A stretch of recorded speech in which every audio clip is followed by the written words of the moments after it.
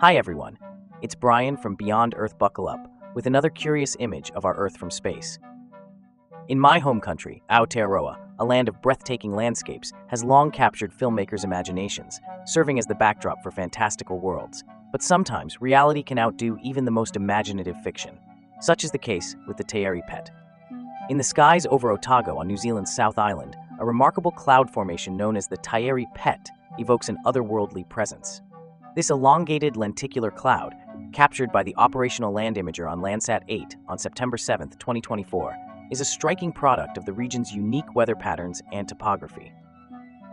Lenticular clouds form when strong winds encounter a topographic barrier, such as a mountain range. As the mountains force the wind upward, it creates atmospheric waves. Air rising along the wave cools, causing the water vapor it carries to condense into clouds. The result is often a smooth, lens-shaped cloud that appears to hover motionless in the sky.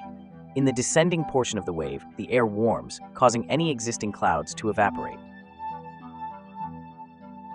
These rare formations are often mistaken for UFOs due to their distinct saucer-like appearance. The Taieri Pet is a perfect example of the natural beauty and wonder that makes New Zealand a land full of awe-inspiring phenomena. Make sure to like, comment, and subscribe to our channel at Beyond Earth Buckle Up for more captivating Earth views. Remember to take care of one another and always keep looking up.